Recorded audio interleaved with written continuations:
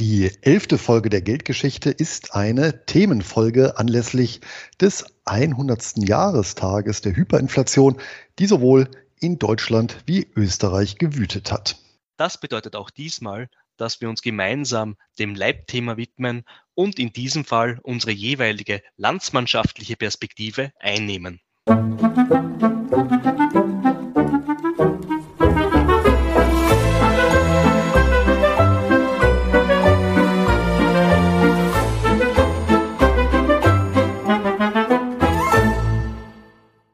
Und damit erneut ein herzliches Willkommen zu den Geldgeschichten. Mein Name ist Luis Pazos.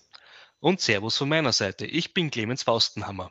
Wir sind zwei Finanzblogger und haben die beiden schönsten Nebensachen der Welt, nämlich Geld und Geschichte, miteinander kombiniert und reisen dafür einmal monatlich zurück in die Finanzzukunft.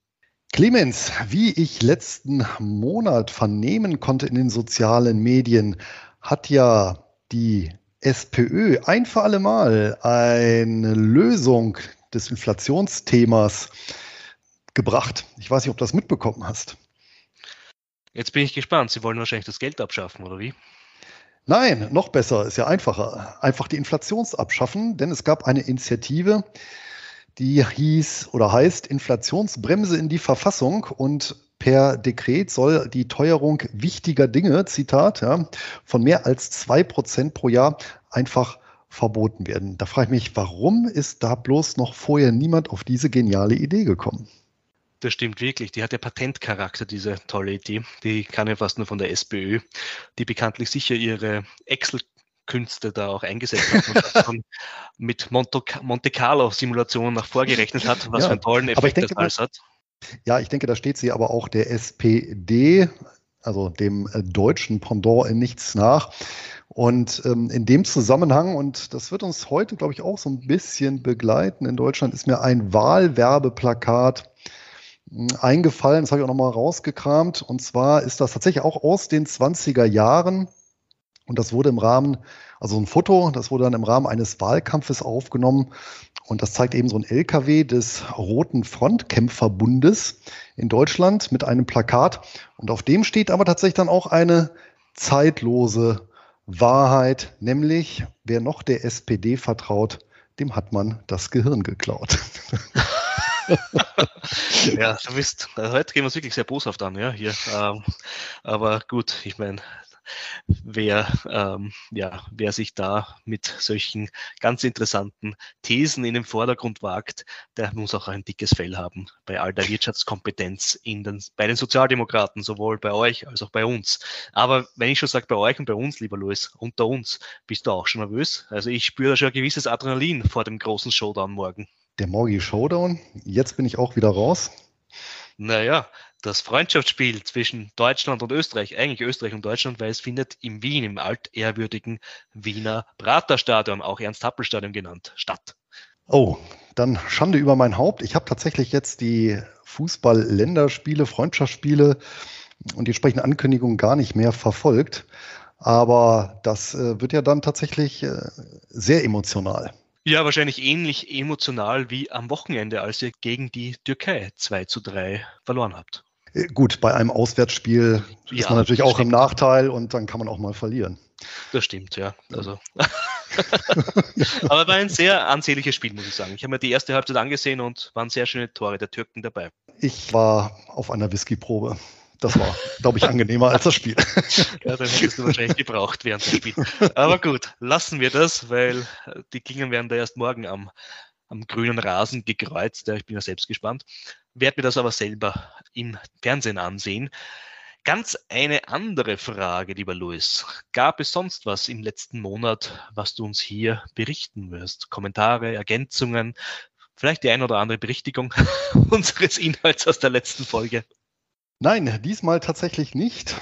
Der Fokus liegt und lag ganz in der Vorbereitung der heutigen Folge, auf die ich mich ja auch sehr freue. Es ist ja wirklich ein urdeutsches finanzielles Thema, ein, ein traumatisches Thema. Und ich bin auch gespannt, da ich die österreichische Perspektive diesbezüglich auch gar nicht kenne, wie es eben bei euch da ausgeschaut hat. Ja, ich generell, wir haben ja hier in unserem Intro vom 100-jährigen Jubiläum gesprochen. Tatsächlich ist es in Österreich ja das 101. Jahr, als die Hyperinflation in Österreich, ich glaube eigentlich schon das 102. Jahr, wenn man genau nimmt. Ich glaube, die Definition bei Hyperinflation ist bei 50 Prozent Preisanstieg im Vergleich zum Vormonat. Stimmt das? Glaub, ja, korrekt. Das ja. ist so die gängige Definition, ja dann war es tatsächlich schon im Jahr 1921 in Österreich soweit. Aber gut, wir sind halt ein bisschen früher dran, ja, wahrscheinlich auch wie mit den Ausscheiden bei großen Fußballturnieren, obwohl in den letzten Jahren haben wir uns da ja ebenbürtig gehalten, ja. Inwieweit halt Österreich überhaupt qualifiziert war, äh, muss man dazu sagen. Aber ich würde sagen, ja, das ist eine sehr spannende Zeit, vor allem eine sehr, sehr ja, volatile Zeit. Ich meine, äh, das, mit dem sollten wir wahrscheinlich auch beginnen, bevor wir unseren Flugkompensator, unseres DeLorean anwerfen, nämlich diese wirklich Zäsur mit dem Jahre 1918. Ich denke, das gilt ja auch für Deutschland. Auf jeden Fall. Und ich weiß ja, vor ein paar Folgen hast du ja ein bisschen was vorgesungen. Keine Sorge, das mache ich jetzt nicht. Ich will die Zuschauer, Zuhörer nicht vergraulen. Aber kennst du das Kinderlied zufällig? Meine Oma fährt im Hühnerstall Motorrad. Ja, das kenne ich wirklich. Und es gibt ein wirklich witziges YouTube-Video dazu, das ich meiner Tochter schon vor einiger Zeit gezeigt habe. Also es ist noch immer ein Klassiker, den wir jetzt bei unserem Sohn auch herzeigen. Das freut mich außerordentlich, denn das wäre jetzt so mein Einstieg fürs Thema. Weißt du, woher dieses Lied kommt? Nein, aber kannst du es mir bitte einmal noch vorsingen? Nein. Lieber nicht. Ich verweise hier auf das äh, gängige Videoportal.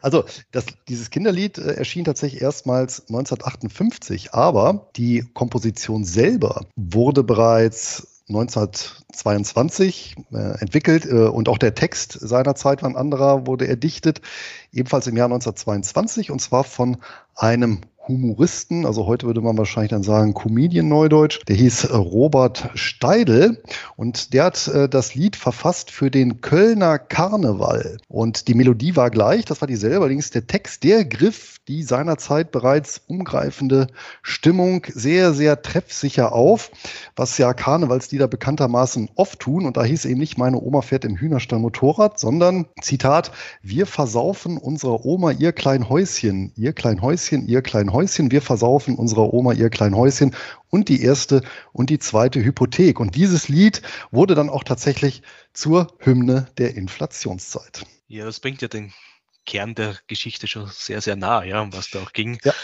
In Deutschland 1923, in Österreich eigentlich die Phase 1921, 1922.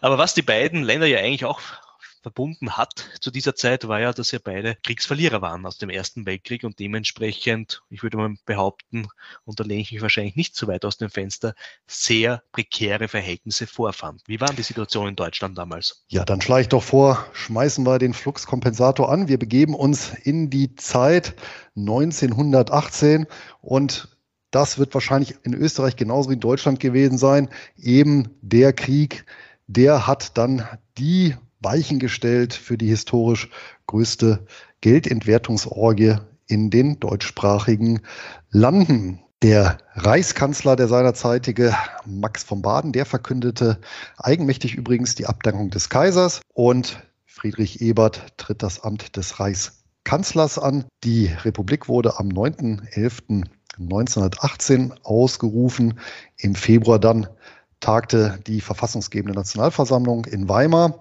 Deswegen dann auch Weimar, weil seinerzeit dann Berlin noch durch Kämpfe und Unruhen erschüttert war. Ja, und da haben wir dann im Prinzip auch gleich die Basis für das monetäre Chaos, was dann entstehen sollte, denn das Reich hatte Altlasten angesammelt, insgesamt 164 Milliarden Mark Kriegskosten, davon 10 Milliarden die durch Steuererhöhungen aufgefangen wurden, 97 Milliarden durch Kriegsanleihen und 57 Milliarden durch Schatzwechsel. Ähm, Schatzwechsel in dem Fall eben Anleihen des Reichs, die direkt eingereicht wurden bei der Reichsbank. Und somit betrugen die Schulden geschätzt etwa 200 Prozent der Wirtschaftsleistung 1918, wobei die Wirtschaftsleistung 1918 etwa ein Drittel geringer war als 1914. Ich nehme an, die Ausgangslage war in Österreich ähnlich. Ja, ähnlich, aber doch auch ein wenig anders. Ähm, interessant auch zu wissen, dass damals in Deutschland ja quasi japanische Verhältnisse herrschen, ne, was die Verschuldung äh, betrifft ja. im Vergleich zum Bruttoinlandsprodukt. Das ist ja, glaube ich, heute auch bei 220, 230 Prozent oder schon viel mehr. Ich weiß gar nicht, glaub, die Zahl habe ich noch während dem Studium gelernt. Unabhängig davon, ja, ich meine, was die beiden Länder verbunden hat, war natürlich, beide waren auf der Verliererseite des Krieges. Beide Länder mussten nach über vier Jahren Krieg ihre Wirtschaft von Kriegs- auf Friedenswirtschaft umstellen, ja, die Produktionsstruktur anpassen. Die war natürlich im Habsburger Reich, im ehemaligen Habsburger Reich, muss man sagen, ja, äh, sehr zerklüftet. Das unterscheidet ja Österreich, das neue Deutsch-Österreich, wie die Republik ja hieß, deutlich von Deutschland. Was die beiden aber auch verband, war natürlich die große, ich nenne es einmal, Verbindlichkeit, Hypothek aus dem Krieg, nämlich die Kriegsanleihen.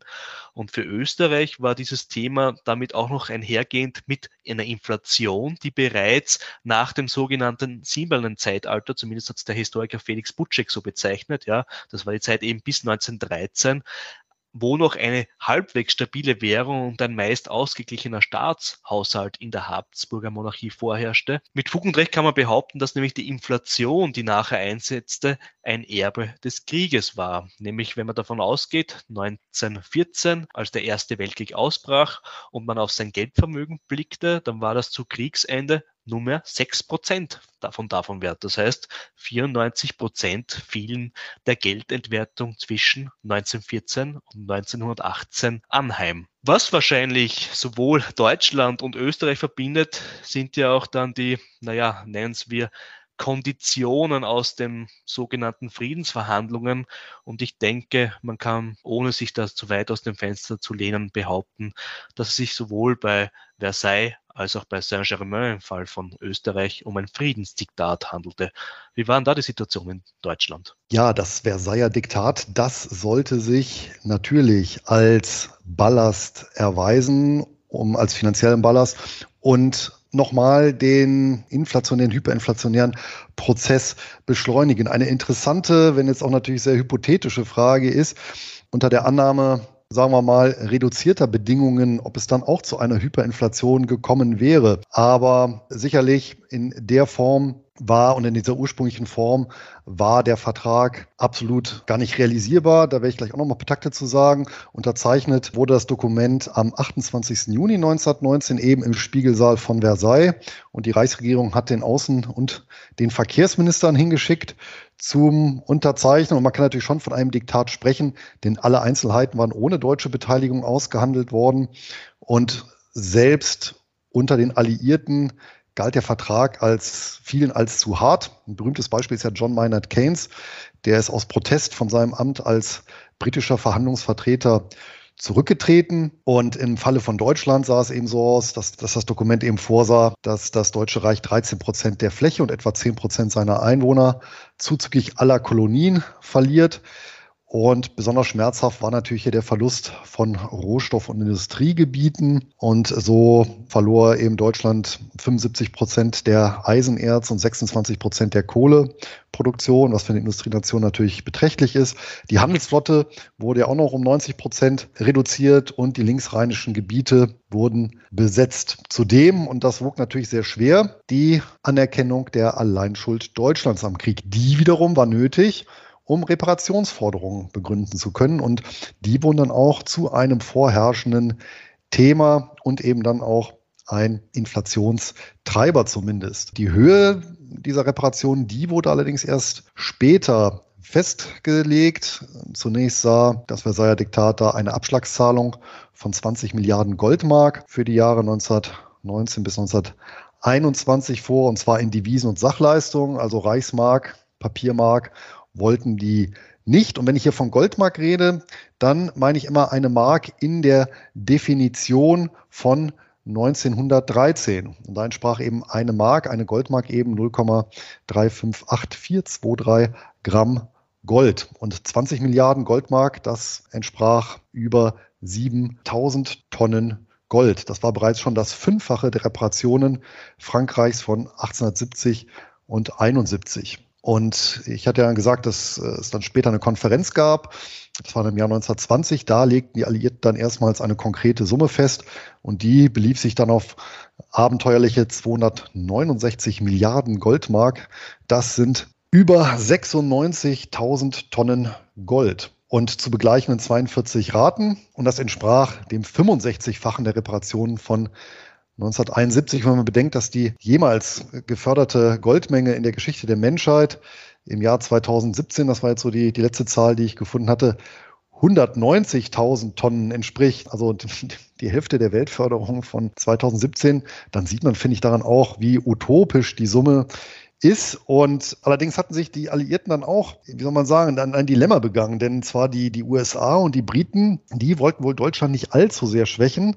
Allerdings hatte Frankreich bei den Briten und den Amerikanern recht hohe Außenstände, also Kriegskredite. Und dadurch saß eben Paris hier am Hebel und hat gesagt, wenn wir eben nicht hohe Reparationen bekommen, dann können wir eben auch nicht pünktlich an euch bezahlen. Und der Außenminister seinerzeit vom Deutschen Reich, der hieß Walter Simons, der sagt halt dann auch angesichts dieser letztendlich nicht zu leistenden äh, Forderung, äh, diese liefen auf eine Versklavung des deutschen Volkes hinaus. Es gab dann Gegenvorschläge. Auf diese Gegenvorschläge wurde dann teilweise ja, ablehnend reagiert, beziehungsweise die Zahlungspläne, die wurden dann auch angepasst, dann schließlich auf, das war im Jahr 1921 auf 132 Milliarden Goldmark und da gab es dann auch in dem Zusammenhang ein Ultimatum von insbesondere den Franzosen, die gesagt haben, naja, wenn das nicht angenommen wird, dann besetzen wir eben das Ruhrgebiet. Was wenig bekannt ist, dass die seinerzeit schon, als Deutschland einen Gegenvorschlag gemacht hatte, schon mal äh, Düsseldorf und Duisburg besetzt hatten, so quasi eine, eine Warenbesetzung. Und das Ruhrgebiet, das war tatsächlich die letzte verbliebene Industrieregion Deutschlands und die lieferte noch 71 Prozent der Kohle und 58 Prozent des Stahls.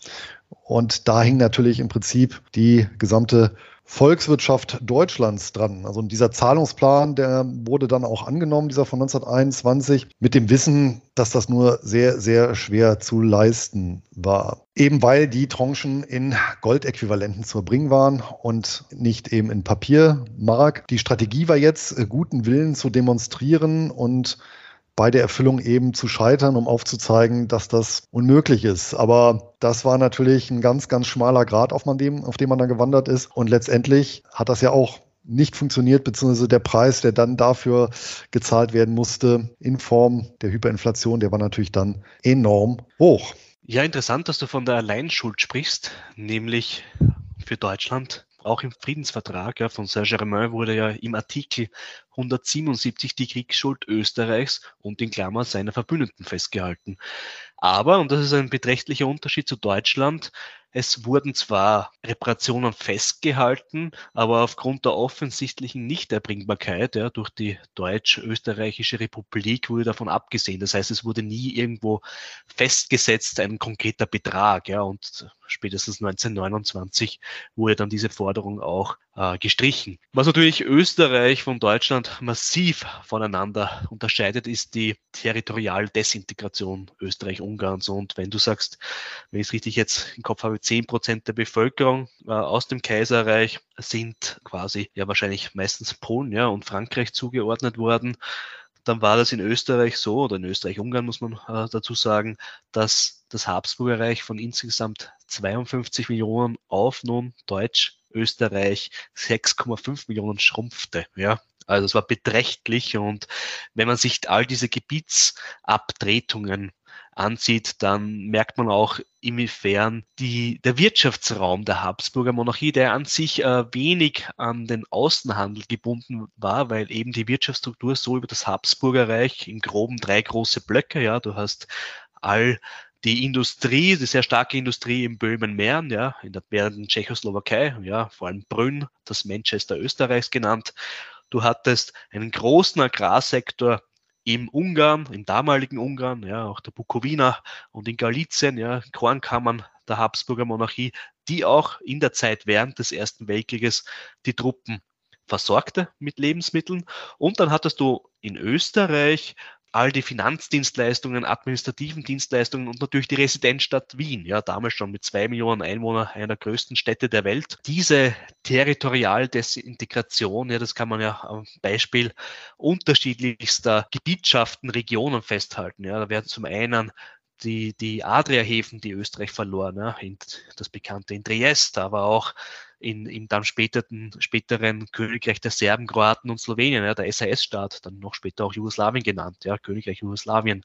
All die Häfen wurden verloren oder gingen verloren. Dann, und das war wahrscheinlich einer der schwerwiegendsten Themen, die auch vehement gegen den Grundsatz des Selbstbestimmungsrechts der Völker verstieß, nämlich die Trennung einerseits von Südtirol, aber, und das wog viel schwerer natürlich die ganze deutschsprachige Bevölkerung im sogenannten Sudettenland. Ja. Und hier reden wir von Deutschmähren, ja, die insgesamt 3,3 Millionen Deutsche umfasste, die entsprechend einer Volkszählung von 1910 dann ein Teil der neuen tschechoslowakischen Republik wurden. Eben einerseits Böhmen-Mähren und Teile Schlesiens und östlich die Slowakei beziehungsweise damals Oberungarn.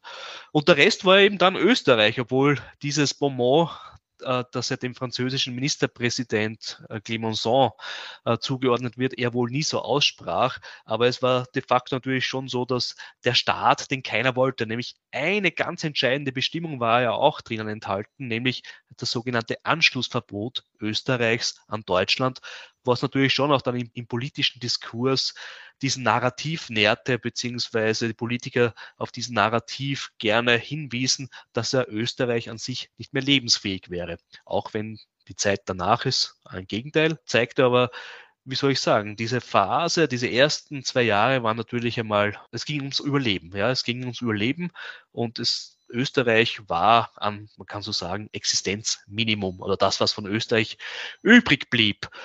Und selbst wenn wir jetzt den Rest von Österreich uns ansehen, dann war ja nicht mal da so klar, ja, ob das wirklich ein Teil des amputierten Österreichs sein wolle. Einerseits hatten wir in Kärnten die Volksabstimmung im südlichen Teil, das wurde auch ähm, im sogenannten Kärntner Abwehrkampf behauptet, ja, wo es dann wirklich zu Auseinandersetzungen eines quasi nicht existenten Heeres, äh, österreichischen Heeres plus natürlich sehr vielen ja, Milizen gegen reguläre SAS-Truppen wo man sich aber eben behauptete und die beiden Abstimmungen, vor allem im slowenischsprachigen Teil Kärntens, was auch bis später dann natürlich für einige Konflikte sorgte, aber sich zur damaligen Zeit, das ist interessant, für Österreich entschied, in der sogenannten Zone A. Somit war eine Abstimmung in der Zone B, die weiter nördlich lag und wo die Deutschsprechenden die Mehrheit stellten. Dort war keine Abstimmung mehr notwendig.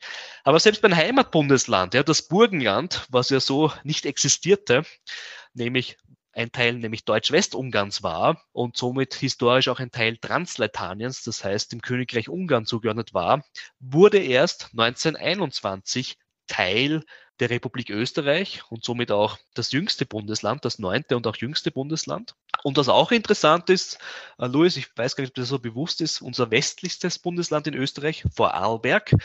Hier war die Lage so, dass sich die Vorarlberger im Mai 1919 zu über 80 Prozent eigentlich zu einem Beitritt, Beitritt der Schweiz äh, entschied. Und interessanterweise, wenn man den Vorarlbergern beim Reden zuhört, das ist ja auch der Teil, wo ich mir am schwersten tue, äh, die Leute zu verstehen, dann liegt ja das gar nicht so weit fern. Allerdings hat die Schweizer Regierung damals äh, auf die Zustimmung von Wien kam, die notabene natürlich nie kam, ja. Und ich glaube, die Eidgenossen waren selbst gar nicht einmal so unglücklich darüber, nämlich Vorarlberg als quasi dass das noch beim, beim östlichen Nachbarn verblieb, nämlich ja, die Schweizer haben da natürlich zwei Themen gehabt. Würde Vorarlberg sich der Schweiz anschließen? Das eine wäre, äh, wenn man auf die konfessionelle Ebene schaut, ja, eine, halbwegs eine Balance zwischen der evangelischen und katholischen Bevölkerung und andererseits natürlich ethnisch, ja, weil der deutschsprachige Teil in der Schweiz ohnehin die relative Mehrheit hatte. Und wenn man jetzt so diese gesamte Ausgangssituation zusammenfasst, dann borge ich mir in dem Fall gerne die Beschreibung des zeitgenössischen Politikers Felix Frank aus, der Österreich als den Staat der unmöglichen Begrenztheit charakterisierte. Vorarlberg als Schweizer Kanton, ja. Eine interessante Vorstellung. Ja. Das wäre übrigens das 23. Kanton damals gewesen, ja. Oh, 23, natürlich auch eine mystische Zahl. Ich denke, wir haben jetzt schon aufgezeigt, eine recht äh, interessante, in Anführungsstrichen, Melange die dann äh, zu den Währungsinflationsexzessen geführt hat. Aber ich weiß nicht, wie es bei Österreich war, aber im Falle von Deutschland, bzw. vom Deutschen Reich, muss ich noch einmal kurz zurückblicken. Denn das, was jetzt folgt, ist nicht zu verstehen ohne bestimmte Regeln, die eingeführt wurden, als der Krieg losgetreten wurde. Denn eigentlich, als das äh, Deutsche Reich gegründet wurde 1871 und fünf Jahre später die Reichsbank war die Geldverfassung eine recht kluge, muss man sagen. Denn die Reichsbank selber musste den Banknotenumlauf zu einem Drittel in Gold decken. Zu zwei Dritteln aber konnte die Geldemission gegen Handelswechsel erfolgen. Und zwar Handelswechsel hoher Qualität und kurzer Laufzeit. Was bedeutet das? Also dieser Umstand ist nochmal wichtig für später. Die Handelswechsel oder der Wechsel an sich, ich nehme an, den gab es auch in Österreich als Zahlungsmittel. Der ist ja seit dem frühen Mittelalter belegt als, ja, wie gesagt, als Zahlungsmittel und besteht eben darin, dass ich einen, einen, einen Schuldschein letztendlich ausfülle und der Gläubiger diesen dann verwenden kann, um selber Zahlungen zu tätigen. Ja, wir haben also im Prinzip so eine Mischung aus Finanzierungsinstrument und Zahlungsmittel. Ja, natürlich musste dieser Wechsel akzeptiert werden, was aber eben bei Wechseln von großen bekannten Unternehmen oder auch lokalen Unternehmen dann im lokalen Umfeld gar kein Problem war.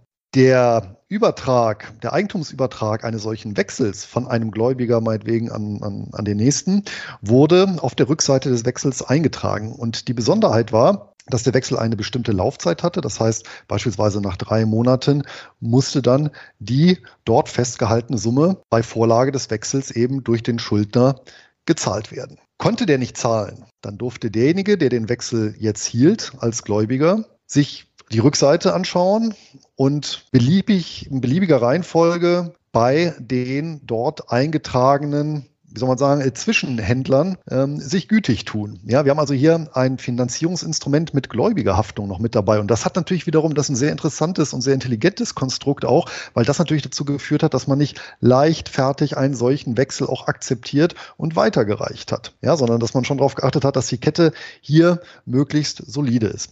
Und genau solche Wechsel, die auch ausschließlich im privatwirtschaftlichen Umfeld umliefen, die mit bestimmten Qualitätsmerkmalen und bestimmten Laufzeitmerkmalen, die hat eben die Reichsbank akzeptiert. Eine Finanzierung öffentlicher Ausgaben, also sprich beispielsweise die Hereinnahme oder der Aufkauf von öffentlichen Anleihen, Obligationen oder Schatzwechseln, war nicht vorgesehen. So, und nun ist natürlich ersichtlich, dass ich mit so einer Konstruktion nicht in einen Weltkrieg reinziehen kann, auch eine Finanzierungsbasis und die kann ich natürlich mit so einem Modell nicht sicherstellen. Und deswegen tagte der Reichstag wenige Tage nach Kriegsausbruch, genau am 4.8.1914 und verabschiedete die sogenannten Währungsgesetze. Und man kann sagen, das war natürlich der erste Sündenfall. Interessanterweise sei dazu erwähnt, dass diese Währungsgesetze schon seit Jahrzehnten in der Schublade waren, also genau für einen Kriegsfall, weil man wusste, dass mit so einer sehr konservativ strukturierten äh, und aufgestellten Reichsbank das nicht funktionieren kann. Und die beiden wesentlichen Neuerungen die da verabschiedet wurden, waren erstens die Aufhebung der Goldeinlesepflicht. Ja, also die, bis dato konnten ja Banknoten jederzeit in Gold eingelöst werden. Und das zweite war, Schatzanweisungen und Schatzwechsel des Reichs, die wurden zentralbankfähig. Und damit war natürlich, muss man sagen, die Büchse der Pandora geöffnet. Denn selbstverständlich, wie alle anderen Kriegsgegner auch, ist Deutschland davon ausgegangen, in relativ kurzer Zeit siegreich vom Felde wieder abzuziehen. Und dann diese ganzen Schatzwechsel und Schatzanweisungen, also sprich die ganzen Schulden, die dann einfach zur Kriegsfinanzierung in die Bilanz der Reichsbank reingeschoben wurden, dann eben mit den Reparationszahlungen bzw. der Beute, die beim Gegner gemacht werden konnte, eben wie 1870, 71 zu tilgen. Davon ging man aus. Das ist bekanntermaßen nicht eingetreten. Allerdings gab es in den Kriegszeiten auch keine Inflation, denn die Güterpreise hielt man dadurch stabil, dass man parallel zu den Währungsgesetzen Preisobergrenzen erlassen hat. Ja, das heißt also, für viele Güter äh, wurden eben hier Fixpreise erlassen,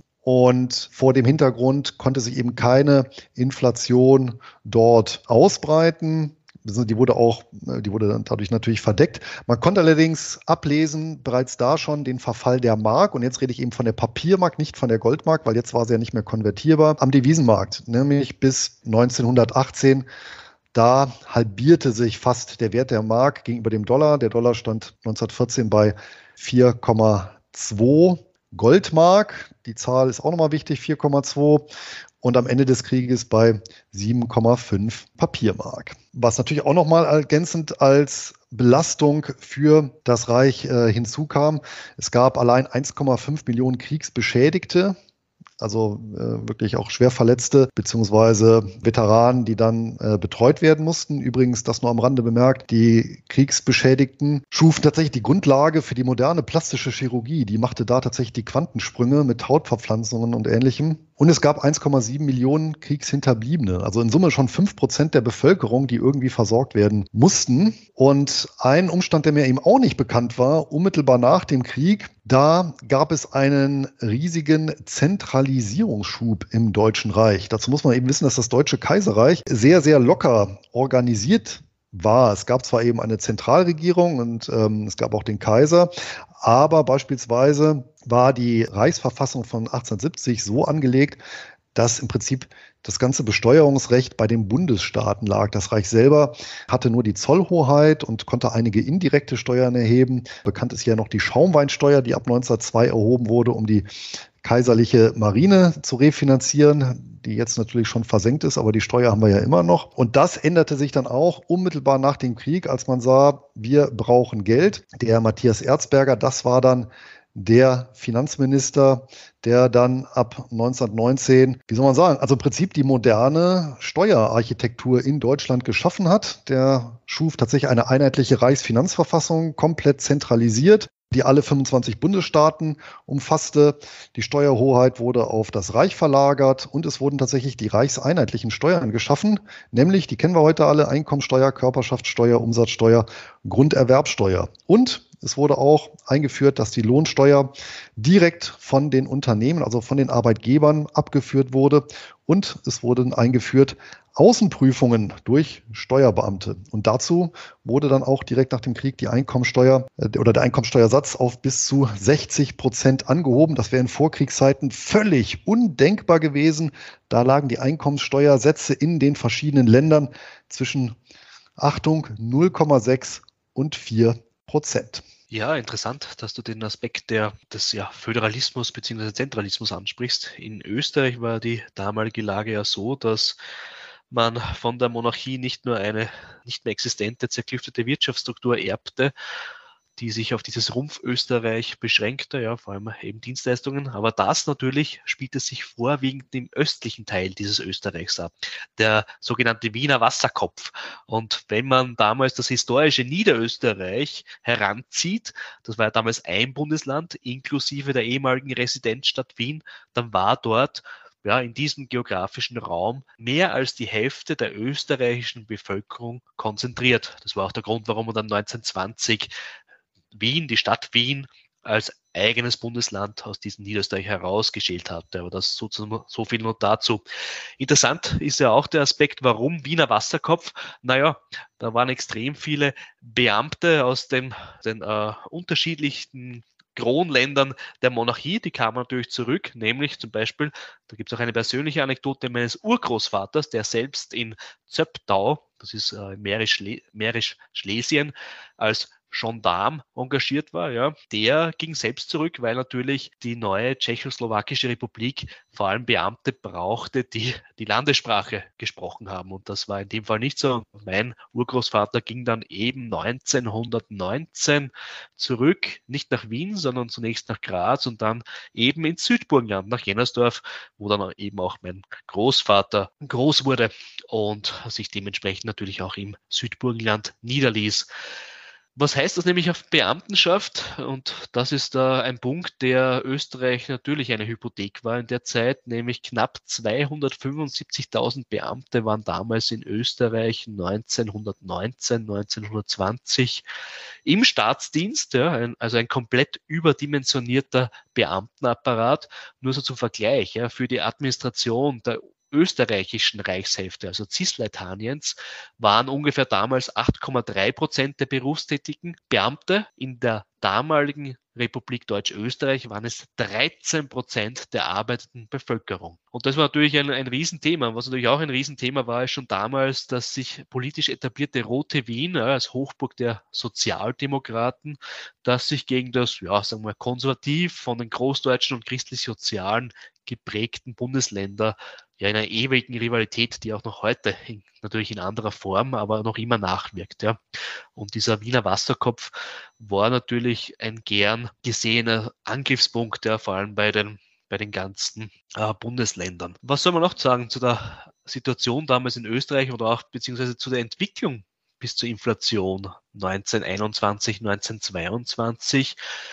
Österreich hatte historisch gesehen quasi mit dem Ende des Ersten Weltkriegs ein chronisch defizitäres äh, Staatsbudget. Was war natürlich eine Hilfe? Wie konnte man sich dessen bedienen? Man warf die Notenpresse an, was natürlich zu einer Ausweitung der Geldmenge dank der noch immer damals sogenannten österreichisch-ungarischen Bank, die die Notenbankfunktion eben inne hatte, dazu führte, um diese Defizite zu mitigieren, die Löcher im, im Haushalt zu stopfen. Wofür wurde das Geld eigentlich aufgewendet? Naja, im ersten Punkt ging es darum, die Lebensmittelsubventionen aufrechtzuerhalten. Und mehr als die Hälfte, also ich glaube bis zu 60 Prozent des Staatsbudgets gingen nur für diese Lebensmittelsubventionen drauf, ja, weil die Agrarimporte waren spätestens aus der Räterepublik Ungarn nicht mehr gern gesehen bei den Entente-Mächten, bei den Siegermächten. Sie wurden eigentlich untersagt. Ja, und damit fiel ja auch ein Handelspartner weg. Apropos Handelspartner, kann man sich denken? Ja, die Wirtschaftsstruktur mit den Nachfolgestaaten des Habsburgerreiches war gegeben. Allerdings war sie natürlich auch bestimmt von, naja, Handelskontingenten, von Zolltarifen, weil natürlich diese Länder ihre eigene Industrie schützen wollten, vor allem eben abschirmen vor der österreichischen Konkurrenz. Und Österreich war, du hast das Thema vorher Energie- und Rohstoffmangel, da war Österreich total davon betroffen. Ja, all die Kohlegruben in der Region Ostrau, generell das industrielle Herz in Böhmen und in Mähren, das fehlte komplett. Und von dem her ist es aber dann doch interessant, dass es ein reales Wirtschaftswachstum schon gab in den Jahren 1921 und 1922. Das waren zwischen 9 und 11 Prozent, aber eben diese Leistungsbilanz blieb chronisch eben defizitär und die Löcher zu stopfen darf. Dafür bediente man sich eben der Ausweitung der Geldmenge. Was bedeutet das auch? Die Ausweitung der Geldmenge. Wenn man äh, das Jahr 1920 hernimmt, dann betrug damals der Geldumlauf 12 Milliarden Kronen und knapp 24 Monate später, im August 1922, das war auch der Höhepunkt der Hyperinflation in Österreich, überstieg der Banknotenumlauf die Billionengrenze. Wenn ich schon davon spreche, dass die Hyperinflation in Österreich auch früher einsetzt, dann würde ich hier ansetzen, ja, im Jahre 1921. Und Warum im Jahre 1921? Das war eben auch der Zeitpunkt, wo diese kreditfinanzierten Lebensmittelsubventionen ihren Höhepunkt annahmen. Die Inflation entwickelt sich in die Richtung, dass ab diesem Zeitpunkt 1921 Monat für Monat die Inflation um 60 Prozent anstieg und im August 1922 betrug das Wachstum der Verbraucherpreise bereits über 120 Prozent gegenüber dem Vormonat. Aber in dieser Zeit war natürlich eine, eine Aufrechterhaltung des Existenzminimums eine der, der wesentlichen täglichen Herausforderungen für den Großteil der Bevölkerung. Es gibt ja auch Gewinner in der Inflation, aber dazu kommen wir noch später zu sprechen. Aber wenn man sich so auch die Lebensrealität vor Augen führt, dann bedeutete das, dass die Lebenshaltungskosten sich für 14.000-fachten ja, seit dem Kriegsende. Und auch in Österreich brauchte man in dieser Zeit die Wäschekörbe zum Geldtransport. Ja. Oder man zündete sich seine Zigarren, wenn man sich Zigarren leisten konnte, mit den Geldscheinen an. Ein Bild, das ja sowohl in Österreich als auch natürlich in Deutschland, glaube ich, sehr präsent ist. Ja. Dieses, äh, dieses, äh, diese brennenden Geldscheine für die Zigarren. Was auch ein Thema war in Österreich und das war eben, ich habe schon anklingen lassen, diese Abhängigkeit zum Ausland, eben auch immer in den Glauben und den Narrativ der eigenen Lebensunfähigkeit zugesagte Kredite von den Siegermächten wurden verwehrt. Ja. Und ein Grund dafür war, und da führen wir wieder zurück zum Friedensvertrag von Saint-Germain, das sogenannte Generalpfandrecht, das auf den österreichischen Staatseinnahmen den Siegermächten eingeräumt wurde. Und natürlich klar, man musste mal auf dieses Generalpfandrecht verzichten, damit man eben für neue Kredite wieder Sicherheiten ausspielen konnte. Und das war nicht der Fall und mittlerweile, und wir sind in, ja, in der Hochphase der Inflation, da saßen die Österreicher nicht mehr mit Vertretern äh, der Siegermächte direkt zusammen, sondern mit Vertretern aus dem Finanzkomitee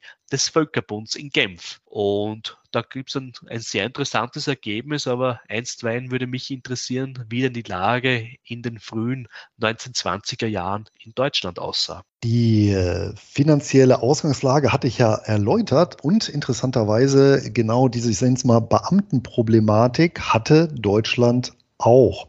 Allein die Bahn beschäftigte 80.000 Bauhandwerker und äh, die Bahn und Post, die fuhren beispielsweise 1921 ein Defizit von 18 Milliarden Mark ein. Das heißt, wir haben hier natürlich einen hemmungslos aufgeblähten öffentlichen Dienst, was natürlich auch ein Relikt des Krieges war. Hinzu kam allerdings, dass die Parteienlandschaft in der, im Parla also die Parteienlandschaft im Parlament sehr heterogen war und beispielsweise die Sozialdemokraten Entlassungen war mit denen eben nicht zu machen. Und äh, dafür waren aber eben dann zum Beispiel mit anderen Parteien eben noch höhere Steuern oder Vermögensabgaben auch nicht zu machen. Das heißt, die haben sich wirklich die jeweiligen Interessensgruppen blockiert und so nahm natürlich auch noch parallel eine Lohnpreisspirale Fahrt auf. Interessanterweise ist auch in Deutschland, das ist im Deutschen Reich, im Jahr 1921, also 2021 auch die Volkswirtschaft nochmal deutlich gewachsen. Denn die Industrie, die war nach wie vor recht stark und noch immer war der Erfindungsgeist hoch und trotz der Verluste vieler Menschenleben, gerade eben junger Leute, gab es kein Arbeitskräfteproblem, was natürlich dann eben auch an der Gesamt, äh, gesamten de demografischen Entwicklung lag. 1919 lag das Wirtschaftsniveau das etwa 30 bis 40 Prozent unter dem von 1913. Allerdings, wie gesagt, ging es dann äh, bergauf. Interessanterweise auch gerade deswegen, weil die Mark relativ schwach war. Ja, die war dann im Jahr 1921 stand die dann bei 40 bis 60 Mark je Dollar, also hatte nochmal deutlich verloren. Das heißt, insbesondere Export lief wie geschmiert. Und das ermöglicht natürlich besagte Devisen dann auch einzunehmen, um dann den Reparationsforderungen nachzukommen. Allerdings gab es insbesondere in den USA Forderungen nach der Eindämmung der Zitat Flut deutscher Waren, Zitat Ende. Und das führt dann eben in den USA und dann auch in anderen Ländern zu Zollgesetzen. Und damit war Deutschland im Prinzip auch der Weg abgeschnitten zu Exportüberschüssen und damit auch zu den harten Währungen, um Reparationen zurückzuzahlen. Und ab dann wurde es natürlich extrem schwierig.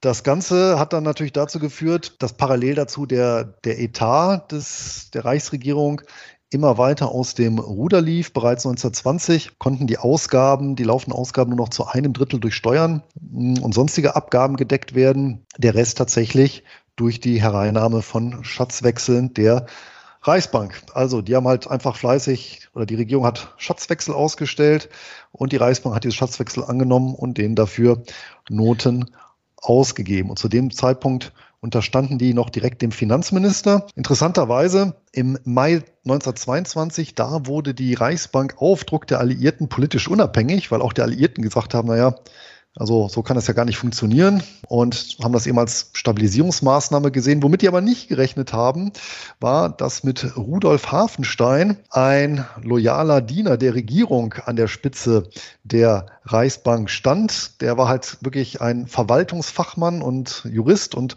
ganz preußischer Beamte und der hing auch einer obskuren, muss man sagen, oder falschen Inflationstheorie an und hat deswegen also ganz fleißig hier der Regierung das benötigte Geld weitergegeben. Und angesichts dieses Defizits, der Lohnpreisspirale, der hohen Kosten im Inland und gegenüber dem Ausland drehte sich natürlich dann das Inflationsrad immer weiter. Vor allem eben an den Devisenmärkten konnte man sehen, wie die Mark permanent immer stärker verlor. Und im Inland halt stiegen die Preise aller gängigen Güter querbeet. Der Umschlag dann von einer, sagen wir mal, ähm, galoppierenden Inflation zu einer Hyperinflation, die erfolgte dann im zweiten Halbjahr 1922. im August dieses Jahres. Da stieg die Inflationsrate erstmals auf 50 Prozent in diesem Monat und nach gängiger Definition haben wir da eine Hyperinflation gesehen oder ab dem Zeitpunkt das Jahr 1922 so ein bisschen zweigeteilt. Daran sieht man auch sehr schön diesen hyperinflationären Effekt oder dieses Umschlagen, denn im ersten Halbjahr stiegen die Preise noch um den Faktor 2, im zweiten Halbjahr um den Faktor 16. Also, wenn man sich das Ganze mal eben anschaut, war die Lage schon sehr, sehr verzwickt. Und ja, auf dem politischen Parkett bekanntermaßen war auch die Feindschaft, gerade insbesondere gegenüber Frankreich, wurde da auch nochmal forciert. Und das spiegelte sich sogar in einer Banknote wieder, die im Januar 2022 erstmals gedruckt wurde oder rausgegeben wurde ein 10.000 Markschein, die sogenannte Vampirnote. Und zwar kann man sich auch mal angucken im Internet, wenn man nach Vampirnote 1922 äh, das Ganze mal in der Suchmaschine schaut, dann findet man diese, diese Banknote, da ist halt so ein Porträt von einem Mann äh, nach Dürer ist dort abgebildet. Und man hat aber, oder derjenige, der diese Druckplatten hergestellt hat, der hat halt noch so ein paar Extrastriche hm, eingefügt. Und wenn man die Note um 90 Grad nach links dreht, dann sieht man einen stilisierten Vampir, der diesem jungen Mann in den Hals beißt. Und das war dann so die kleine Rache oder aus, der, der Ausdruck des, des, des kleinen Mannes, des Graveurs, seinen, seinen Missmut hier zu äußern. Zur das interessiert mich an das ähm, erinnert mich an einen Namensvetter von dir. Ich sage nur Fußball-WM 2014, Luis Suarez. Der Vampir? Der Vampir. Der Chiellini kann dir erzählen, ja, warum. das Spiel Uruguay-Italien, ja, legendär. Ja, aber Entschuldigung, dass ich dir da so ins Wort falle, ja, aber ich sehe wieder so viele Parallelen, ja, zwischen Österreich und Deutschland, weil du sagst, der Industriesektor an sich war wieder in der Lage zu produzieren und scheinbar auch zu exportieren, ja. Und in Österreich war die Situation so und der Karl Renner, seines Zeichens der erste Staatskanzler von der Republik Deutsch-Österreichs, ja, war übrigens auch der erste Kanzler dann äh, in der Zweiten Republik nach dem Zweiten Weltkrieg. Auf jeden Fall, der hat äh, völlig zu Recht mit dem Blick auf die österreichische Wirtschaft behauptet, dass es einerseits eine Produktion ohne Markt gab, ja, anspielen auf die ganzen Finanzdienstleistungen, an die Industrie, aber eben auch, und da kommen wir zur Landwirtschaft, ein Markt ohne Produktion. Das ist schon interessant, ja, weil auch wenn man so als exemplarisch sich ansieht, die Lokomotiv Fabriken in Habsburger Reich, ja, davon waren vier in Österreich, aber in den 1930er Jahren blieb genau noch eine einzige in Wien-Floridsdorf übrig, ne, weil eben kein Markt für diese ganze Produktion hier war, wenn überhaupt einmal produziert wurde, nämlich was Österreich schon stark hatte und da weiß ich, wie die Situation in, in äh, Deutschland war, aber Österreich hatte einen chronischen Energiemangel. Über die Energieversorgung. Mir ist allerdings da nicht aufgefallen, dass das irgendwie nochmal gesondert behandelt wurde. Aber ich könnte mir vorstellen, dass zumindest solange noch Kohle aus dem Ruhrgebiet da war, das Ganze sich noch in äh, Grenzen gehalten hat. Allerdings damit war ja dann auch Schluss Anfang 1923, denn, hat es ja geäußert, die, die finanzielle Lage, insbesondere auch was Devisen und Gold anging, die war fatal. Das heißt, dann konnten auch nicht mehr die Reparationen zeitgerecht erfüllt werden. Und das hat dann der französische Präsident Poincaré, der tatsächlich auch, muss man sagen, von Rachegedanken beseelt war oder Revanchegedanken aufgrund des verlorenen Krieges 1870-71.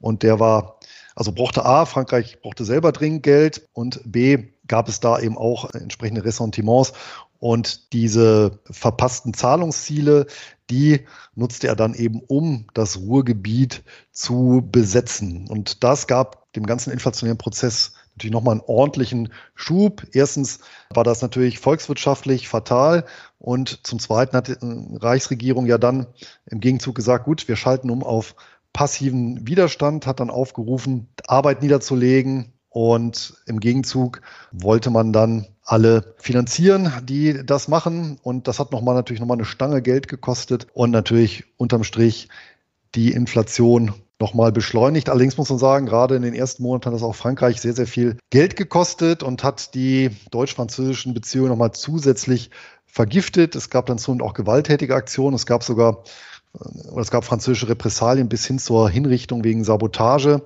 Und das führte wiederum dazu, das war mir auch gar nicht bewusst, dass seinerzeit dann auch viele französische Lehnwörter, die bis dahin in Deutschland noch absolut üblich sind, äh, waren und heute noch in der Schweiz üblich sind, in Deutschland verschwanden. Ja, zum Beispiel der Trottoir für den Bürgersteig oder das Billet für den Fahrschein. Und das wirkt auch so ein Effekt, der bis heute tatsächlich fortwirkt. Das hatte dann letztendlich zur Folge, diese Konstellation, dass Mitte 1923 lediglich noch drei Prozent der Reichsausgaben durch Steuern beglichen werden konnten und der Rest durch Schulden und der Haushalt komplett zerrüttet war. Und das war der Punkt, Juli 23, wo dann Gustav Stresemann übernommen hat, die Regierungsgeschäfte und dann auch die schwersten Tage der Inflationszeit, aber auch dann die erfolgreiche Bekämpfung ja, eingeleitet wurden. Ja, diese äh, Ruhrbesetzung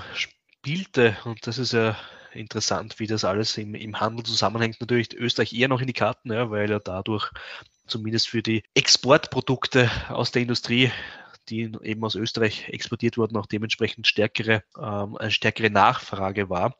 Aber das war ja nicht nur allein Frankreich, oder? Wenn ich es richtig im Kopf habe, war ja da die, die Belgier auch dabei. Ich weiß nicht, ob noch sonst eine Entente-Macht dabei war. Ja, die Belgier waren dabei und ansonsten noch in den linksrheinischen deutschen Gebieten, da waren auch noch einige Briten. Ja, eine Direkt fatale Entwicklung. Vor allem, wenn man sich dann auch nachher die Situation anschaut, was das eigentlich die Saat da gelegt wurde. Ja, ähm, vor allem 1923 war ja auch ein gewisser Putsch in München, glaube ich, Putschversuch in München. Ja? Genau, ein nicht näher bezeichneter Österreicher, der äh, putschte dort, äh, wenn auch vergeblich, wurde dann äh, gefangen genommen und im anschließenden Gefängnisaufenthalt äh, schrieb er dann sein berühmtes Buch Mein Kampf. Das ist der eine Österreicher, ich habe aber noch zwei andere. Na, hoffentlich bessere Variante. Ja, nicht ganz so schlimm, das ist schon richtig.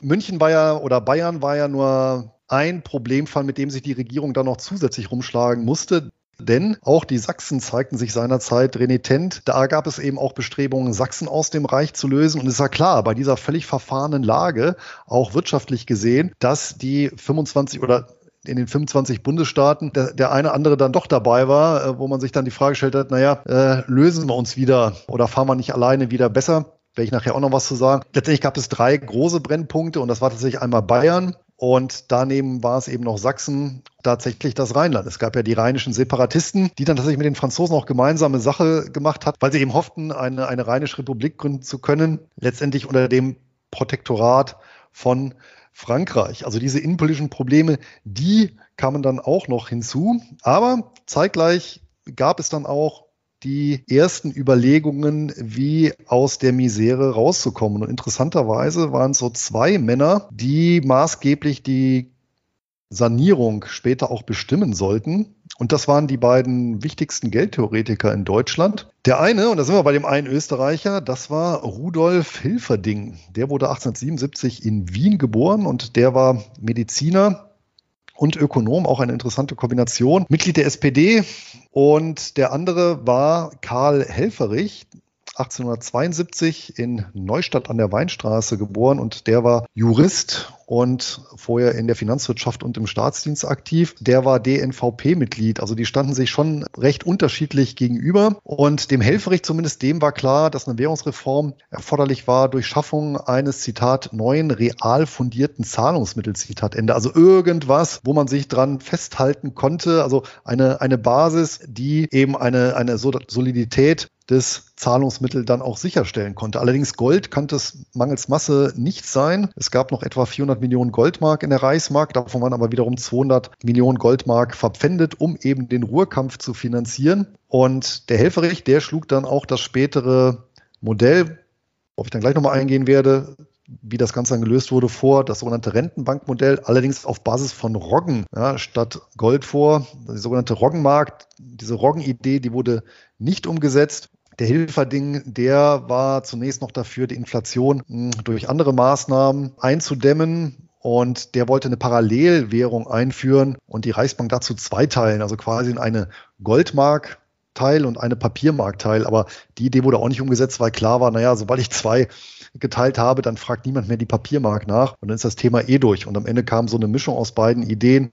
Komme ich danach nochmal zu. In der Zwischenzeit wurde halt in Deutschland, ich weiß nicht, wie es in Österreich war, aber sehr, sehr viel Symbolpolitik getrieben. Das heißt, es ist wirklich faszinierend, äh, mit was sich da die Politik oder Politiker abgegeben haben, statt sich dann um wirklich die, diese existenziellen Nöte, in die mittlerweile breite Volks- Schichten reingeschlittert waren, äh, zu kümmern. Ähm, es gab zahlreiche beispielsweise Initiativen im Kampf gegen die Schlemmerei, wurde das genannt. Da gab es also zig ähm, Verordnungen, zum Beispiel in Bayern äh, war es dann verboten, Zitat, aus Hang zum Wohlleben sich derart übermäßig der Genusssucht hinzugeben, dass dadurch angesichts der Not des Volkes Ärgernis erregt werden kann. Ja, Zitat Ende.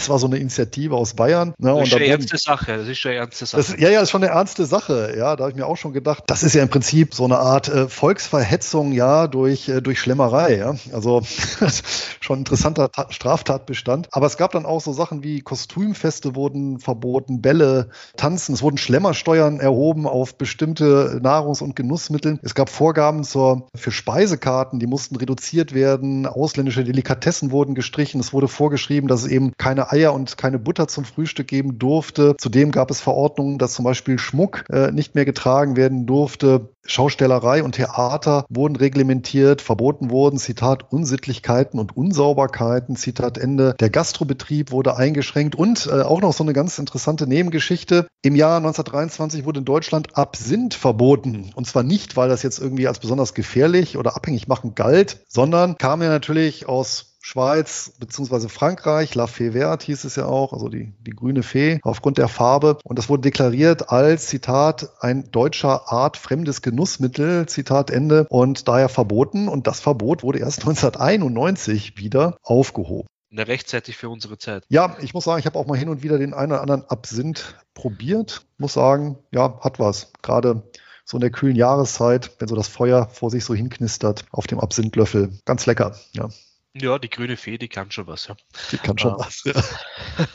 was allerdings auch umgeschlagen hat, und das war, fand ich schon so, so die Vorboten politischer Unappetitlichkeit. Ein Hang zum, muss man sagen, wirklich etatistisch totalitären Denken. Und da kann man eben leider auch den Stresemann nicht ganz ausnehmen, der sich dann eben wirklich erstmal pauschal für eine weitere Belastung aller Besitzenden ausgesprochen hat dann auch sagte, Zitat, dass Reich und Volk erhalten bleibt, ist notwendig. Dass die Substanz der Einzelwirtschaft sich erhält, ist nicht notwendig. Wir haben das Staatsinteresse in den Vordergrund zu stellen. Zitat Ende. Ja, und da sind wir natürlich auch nicht mehr so weit weg von du bist nichts, dein Volk ist alles, was sich ja dann nochmal zehn Jahre später als äußerst fatal herausstellen sollte. Also die Stoßrichtung gab es eben auch und die wäre halt eben auch ohne die Hyperinflation beziehungsweise vor dem Ersten Weltkrieg so undenkbar gewesen. Ja, wenn wir schon bei Lösungen sind oder undurchdachten Lösungen, ja, mancher Politiker, dann würde ich anknüpfen an die sogenannte Genfer Sanierung, die ja das Problem der österreichischen Hyperinflation und das, wie gesagt, spielte sich in den Jahren, vorwiegend in den Jahren 1921, 1922 ab. Und in dieser Zeit gab es, und ich habe es vorher erwähnt, den Verhandlungstisch ja, zwischen einerseits dem Völkerbund in Genf als auch der österreichischen Regierung. Und ja, was heißt die österreichische Regierung? Das war ja auch mehr ein Kommen und Gehen. Zur damaligen Zeit hatte nämlich die Regierung von Johannes Schober zu weichen, nämlich die haben die österreichisch-tschechische Grenze im Vertrag von Lana, das ist ein Schloss in der Nähe von Prag, ja, anerkannt und das war natürlich somit vor allem bei den Großdeutschen ein, ja, wie soll man sagen, ein absolutes No-Go, nämlich das Selbstbestimmungsrecht der Sudetendeutschen da quasi zu beschneiden oder respektive darauf zu verzichten. Und es übernahm von Schober mit Ignaz Seipel ein Kabinett, ja, das dann schlussendlich eine Lösung brachte der Hyperinflation. Das ging relativ schlagartig, aber vielleicht auch ein paar Worte auch zu Ignaz Seipel. Der war christlich-sozialer, das war im Wesentlichen die Vorgängerpartei der heutigen österreichischen Volkspartei, der ÖVP. Und er war auch der maßgebliche Parteiideologe in der Zwischenkriegszeit, der ja von den Sozialdemokraten weniger schmeichelhaft als der Prälat ohne Milde bezeichnet wurde. Und warum ohne Milde? Na, ich glaube, der Grund lag darin, für diese eben wenig schmeichelhafte Titulierung seitens der Sozialdemokraten, dass er schlussendlich die Umsetzung der Bedingungen für die Völkerbundanleihe umsetzte. Und Seipel war ein äußerst geschickter Stratege, der das Spiel über die ja, Bande auf dem diplomatischen Parkett beherrschte und tatsächlich ein Einvernehmen mit dem Völkerbund Vertretern erzielte. Nämlich im Oktober 1922 wurden die drei sogenannten Genfer Protokolle unterzeichnet. Ja, und darin waren eben einerseits die, die Maßnahmen festgehalten, die Bedingungen besser gesagt, für die mit 650 Millionen Goldkronen dotierte Anleihe versehen war, ja, mit diesen Bedingungen. Und das waren deutliche, deutliche Einschnitte in die staatliche Souveränität.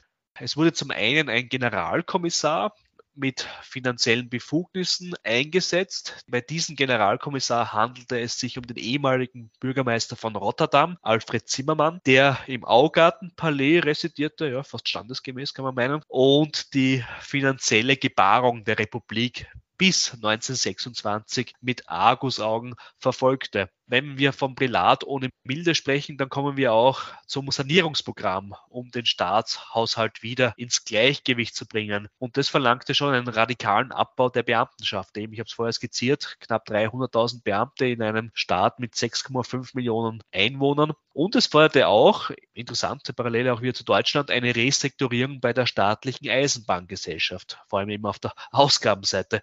Auf der Einnahmenseite wiederum kam es zu Steuererhöhungen und auch zu Tariferhöhungen, die das Budgetdefizit mildern sollten. Und wenn ich schon von Defizit spreche, naja, die Defizitfinanzierung, die sich da so über die Jahrzehnte, wie wir meinen, ja, seit dem Ersten Weltkrieg eingeschlichen hat, über die Notenbank wurde natürlich untersagt. Was auch untersagt wurde oder nochmal bestätigt wurde, war ja das Anschlussverbot an Deutschland, was in Wirklichkeit dann 1938 nicht mehr Bestand hatte, beziehungsweise ein Fait accompli seitens des Dritten Reiches, dem sich Österreich anschloss, ja, getätigt wurde. Interessant war, der Nettoerlös dieser Völkerbundanleihe oder Genfer Anleihe betrug dann 611 Millionen Goldkronen. Das waren ungefähr dann in Schilling umgerechnet 950 Millionen Schilling. Wobei eben Großbritannien, Frankreich, Italien und die Tschechoslowakei für die Anleihe garantierten. Das war ein wesentliches Zeichen, nämlich dass diese Inflation unmittelbar endete, beziehungsweise die Hyperinflation unmittelbar in eine, ja nicht einmal in eine galoppierende, sondern in eine erhöhte Inflationsphase abschmolz. Interessant auch, 50 Prozent des Anleiherlöses musste bei ausländischen Banken geparkt werden. Die Verzinsung mit ja, bis zu drei bis vier Prozent lag deutlich aber unter der effektiven Verzinsung der Schuldverschreibung. Die war ne nämlich bei circa 10 Prozent. Für was wurde das Geld verwendet? Na, einerseits um das Budgetdefizit zu stopfen, aber andererseits auch wichtige Investitionen in der Industrie, in der Infrastruktur voranzutreiben, vor allem auch hinsichtlich der Energiegewinnung auf dem neuen österreichischen und auf dem jungen österreichischen Staatsgebiet. Ich habe schon erwähnt, was natürlich gelang war, dass die Hyperinflation ja, schlagartig gestoppt wurde. Allein die Ankündigung davon, und wir reden hier von Oktober 1922, reicht dafür. Wie kann man das in Zahlen messen?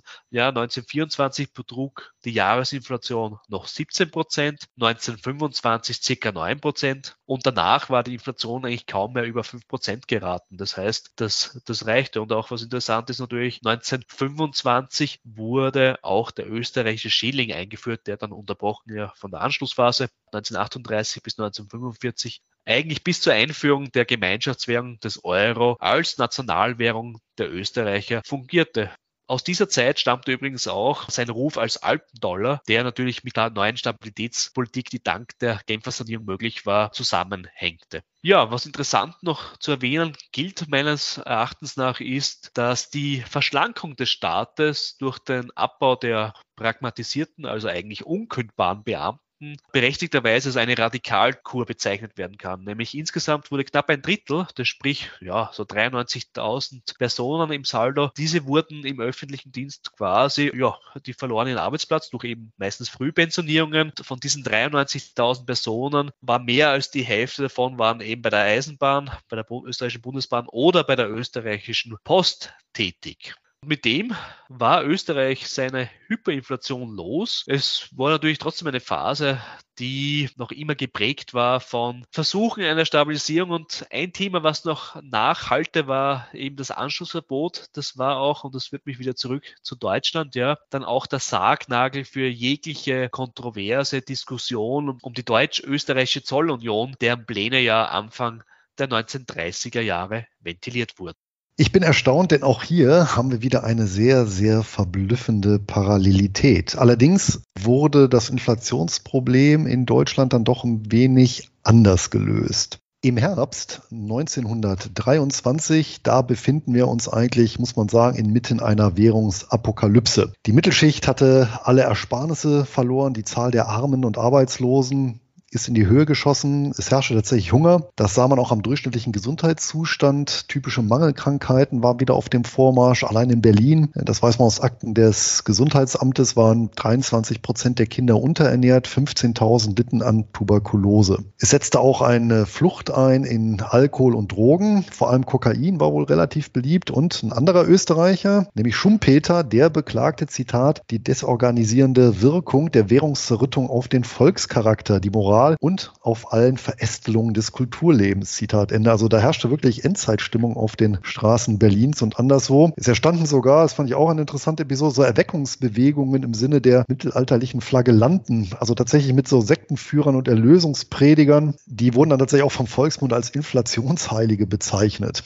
Also auch ein, ein, interessanter Nebenaspekt. Es ging eigentlich auch los mit gewalttätigen Kämpfen um Lebensmittel. Es gab überall Unruhen. Zumal eben auch immer weniger Produzenten bereit waren, überhaupt Waren zu verkaufen, außer eben gegen Devisen oder Gold, auch wenn das verboten war.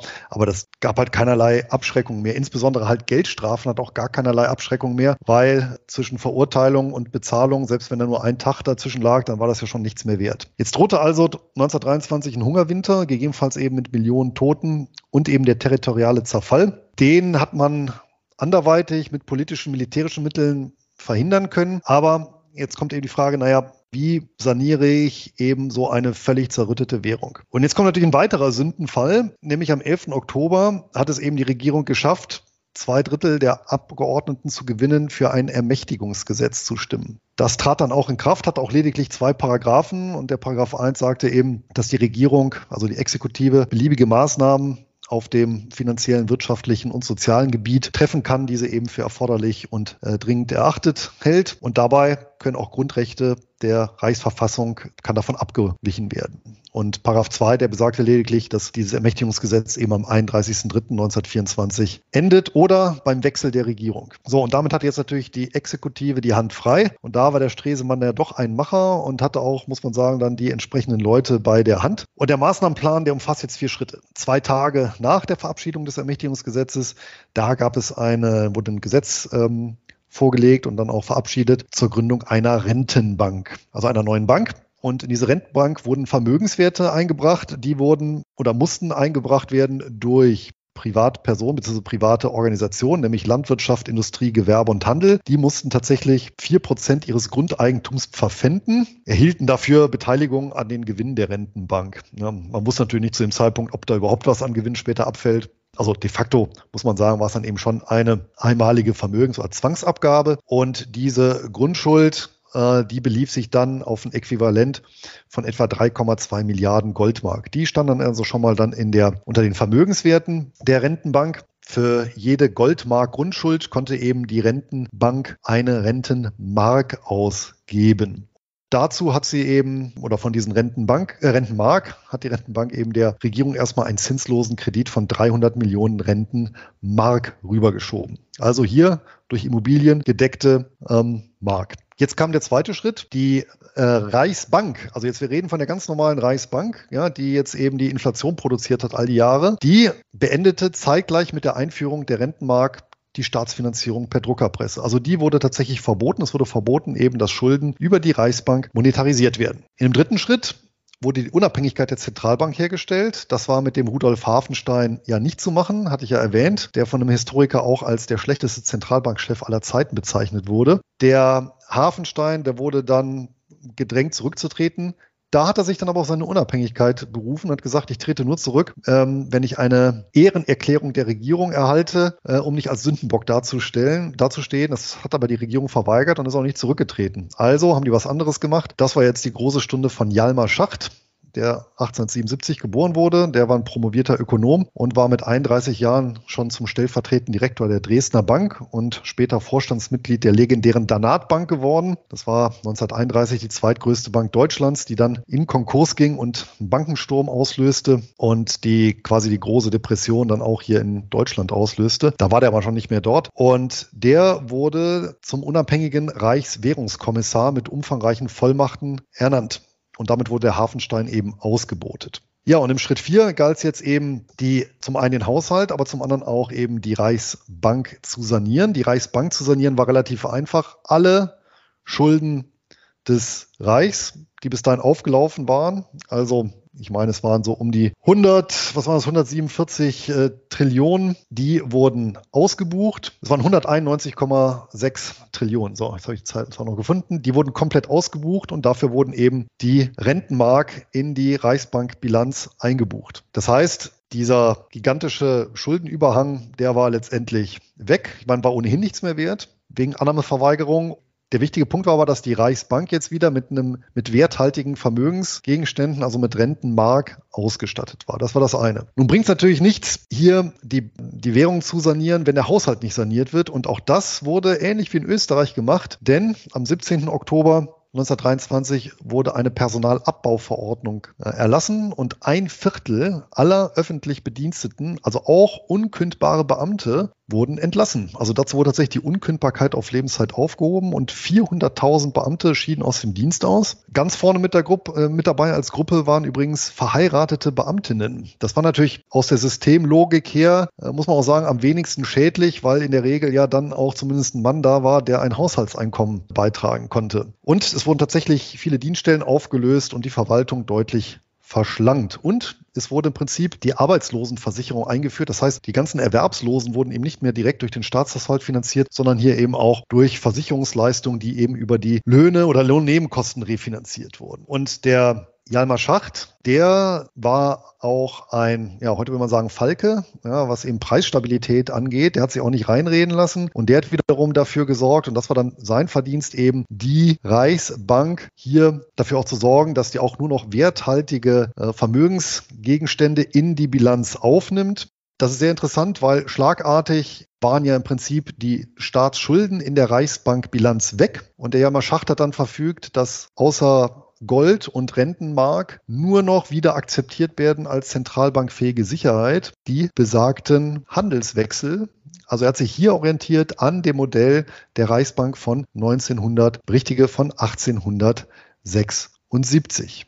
Die Rentenmark selber, die lief auch noch um, denn neben diesen 300 Millionen äh, Rentenmark zinslosen Darlehen hat die Regierung ein weiteres Darlehen erhalten, um den laufenden Betrieb erstmal weiter zu finanzieren. Dieses Polster war ja auch da durch diese Zwangsabgabe und die Rentenmark wurden dann an die Beamten vor allem ausgegeben. Die Rentenmark waren aber kein gesetzliches Zahlungsmittel. Das gesetzliche Zahlungsmittel, das war weiterhin die Papiermark. Und die kam dann tatsächlich innerhalb von fünf Tagen ähm, also am 20. November 1923 dann bei 4,2 Billionen Mark je US-Dollar brach dann quasi schlagartig die Hyperinflation ab. Und es blieb dann dabei. Also schwankt noch ein bisschen, aber äh, der Kurs konnte dann gehalten werden. Und tatsächlich war es so, dass dann noch bis in den Sommer des kommenden Jahres tatsächlich auch diese riesen Nominalbeträge weiterhin dazu dienten, eben als Zahlungsmittel dienten und dann erst eine Umstellung erfolgte, bei der letztendlich aber nur Nullen gestrichen wurden. Es war eigentlich keine Währungsreform dann im eigentlichen Sinne, es waren ja weiterhin Reichsmark, es waren dann genau die Reichsmark, die dann auch 1948 untergegangen sind. Hier war es im Prinzip wirklich nur eine, eine Umstellung.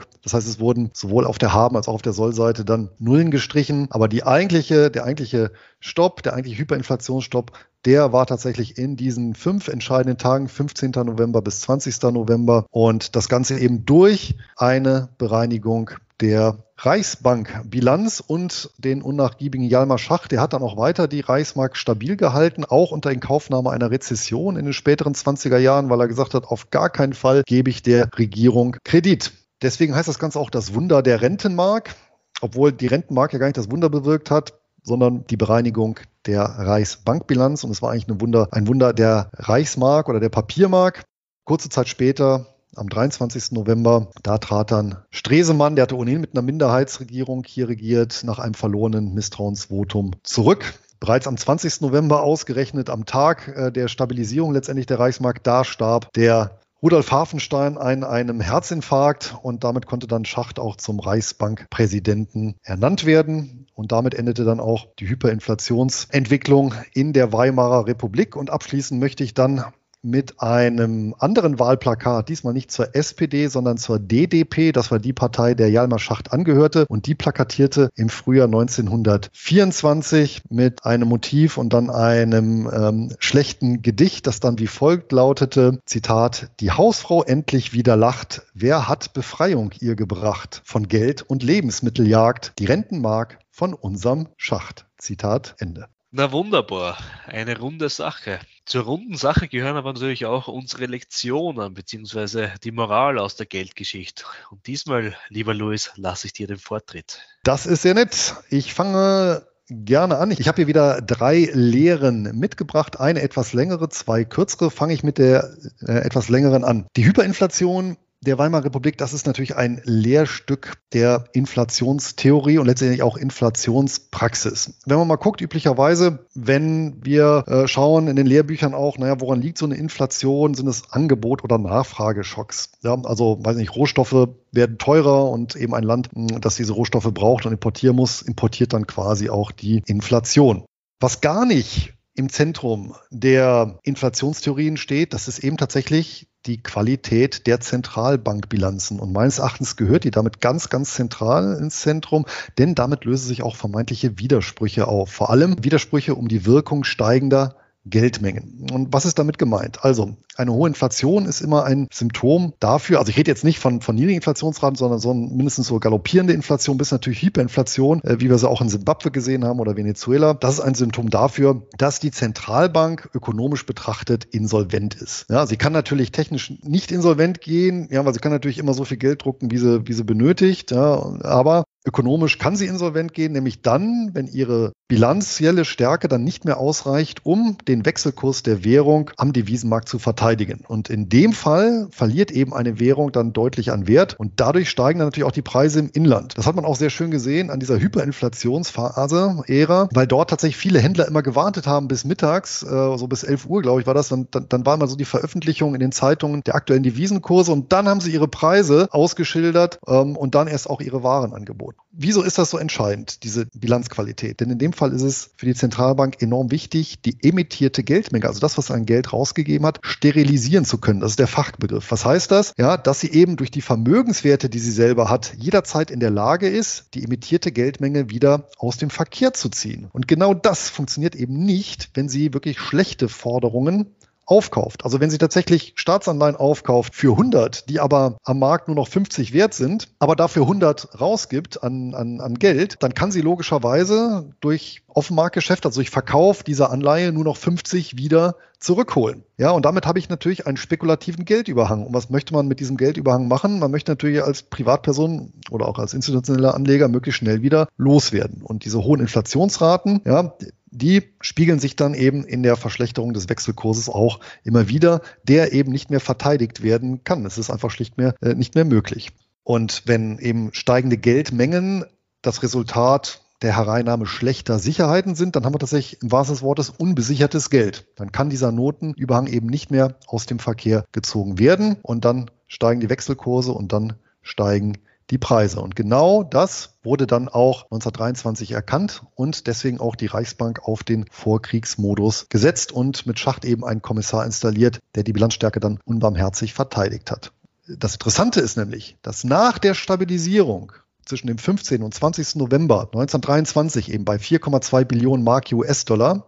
Danach ist bis zum 30. Juni 1924 die Geldmenge extrem gestiegen, nämlich um das 15-fache. Also um das 15-fache hat sich die Zentralbankbilanz noch aufgebläht. Die Preise sind allerdings stabil geblieben, da die Mark eben fast ausschließlich nur noch gegen Handelswechsel hoher Qualität und kurzer Laufzeit emittiert wurde. Und dagegen kannst du eben keine spekulativen Attacken fahren, weil es eben keinen Geldüberhang gibt. Das heißt, es gibt ja einen Beschaffungszwang, denn die Zentralbank kann entgegengenommenen Handelswechsel ja wieder vorlegen. Gläubigerhaftung, egal wem, ja, und derjenige muss dann zahlen. Das heißt, automatisch werden dann die Noten so wieder aus dem Verkehr gezogen und die Währung bleibt stabil. Spekulative Attacken sind nur ganz, ganz, ganz kurzfristig möglich, aber fallen dann wieder in sich zusammen. Das heißt, wir hatten auch hier, das ist auch nochmal eben interessant, gerade keine Währungsreform im eigentlichen Sinne, sondern einfach nur in Anführungsstrichen eine Stabilisierung des Wechselkurses durch die Verbesserung der oder Wiederherstellung der Qualität der Zentralbankbilanz, gegen die dann nicht mehr spekuliert werden konnte. Und die Lehre hieraus ist eben, starke Inflation sind immer auch Wechselkursinflation beziehungsweise lassen sich eben am Devisenmarkt sehen und geben eben Auskunft über die ökonomische Solvenz der Zentralbank. Die zweite Lehre, ganz kurz, ich zitiere Voltaire, es ist gefährlich, Recht zu haben, wenn die Regierung Unrecht hat. Wenn man als Privatperson hier Vermögen erhalten wurde in diesem Szenario, das war tatsächlich sehr, sehr schwer, selbst mit maximaler Diversifikation. Ich kann damit natürlich bestimmte Risiken eliminieren. Ich hätte mich auch gegen die Inflation ökonomischerseits schützen können. Das Problem ist halt, der Schutz selber hängt natürlich dann immer vom Grad der Gewalt ab, die die Exekutive bereit ist einzusetzen oder eben nach Karl Schmidt, dem Juristen und politischen Philosophen, souverän ist, wer über den Ausnahmezustand entscheidet. Und tatsächlich ist es so, es war faktisch auf legalem Wege nicht möglich, Vermögen zu erhalten, denn, das habe ich jetzt gar nicht erwähnt, natürlich zu dieser Symbolpolitik gehörten auch Repressalien gegen Vermögensbesitzer. Das heißt, es gab Devisenabführungsverbote, es gab äh, Devisenabführungsgebote, Goldbesitzverbot, auch Gold musste zu Festpreisen abgegeben werden. Es gab sogar in der Spätphase dann eine Wertpapierabgabepflicht. Das heißt, heißt selbst aus, also vor allem, also es ging um Wertpapiere, die auf nicht auf Mark denominiert waren. Das heißt, ausländische Anleihen und Aktien mussten abgegeben werden. Und wer die eben nicht versteckt hat und damit hohe äh, Gefängnisstrafen auch riskiert hat, der konnte damit letztendlich kaum Vermögen retten. Mit, Aktien, mit deutschen Aktien wäre es noch gegangen. Allerdings sind die auch äh, im Rahmen der Hyperinflation regelrecht eingebrochen. Da musste ich dann auch schon mehrere Jahre warten, bis ich hier wieder auf pari war. Ja, also das ist auch nochmal äh, aus der, aus der Vermögensanlage interessant. Wenn, wenn Privatanleger hier mit Extremzeiten konfrontiert werden und die Politik natürlich zu extremen Mitteln greift, dann wird es eben sehr schwierig. Und als drittes Stichwort Ermächtigungsgesetz. In Anlehnung an Kant möchte ich hier äh, vielleicht den sowas wie den, den politischen Imperativ äh, kundtun, nämlich verabschiede niemals ein Gesetz, von dem du nicht wollen kannst, dass dein politischer Gegner es anwendet. Das war natürlich schon sehr, sehr problematisch, weil damit war natürlich die Büchse der Pandora geöffnet, denn wenn, wenn eine Koalition dann in einer Notzeit äh, ein Ermächtigungsgesetz zu ihren Gunsten durchsetzen kann, dann wird das natürlich in späteren Zeiten auch wieder durchgeführt werden, wenn Grundrechte komplett außer Kraft gesetzt werden.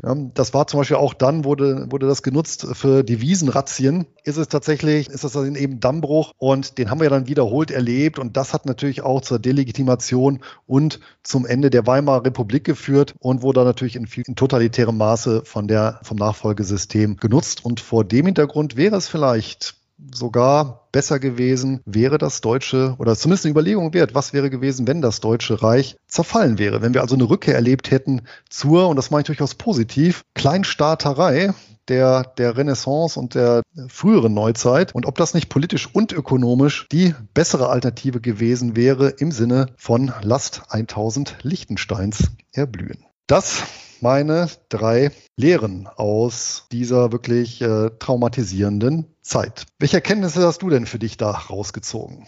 Also meine Moral aus der Geldgeschichte habe ich selbst in drei Lehren hoffentlich knackig zusammengefasst. Die erste ist, ist der Ruf erst ruiniert, lebt es sich ganz ungeniert.